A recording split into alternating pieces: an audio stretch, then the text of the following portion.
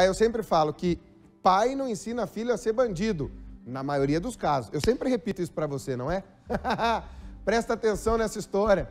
Durante uma ocorrência, pai e filho foram presos traficando juntos e família que trafica junto vai para cadeia junto, Bia.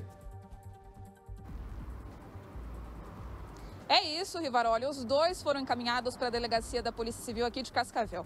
Como que essa situação toda começou? Primeiro que a polícia estava fazendo uma, uma ronda de fiscalização aí, de rotina, aqui pela cidade, na região oeste do município, percebeu a atitude suspeita de um rapaz de 19 anos.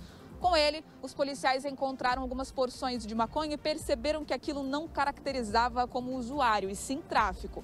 Foram até a casa desse rapaz. Encontraram o que lá? O pai dele também organizando tudo, um homem de 32 anos. Pai e filho, então, foram presos, levados para a delegacia. A polícia apreendeu várias porções aí de drogas, maconha, crack, cocaína e também aproximadamente 400 reais em dinheiro. Parece aquele ditado, né, Riva? Será que vale para essa situação? Filho de peixinho, peixinho é?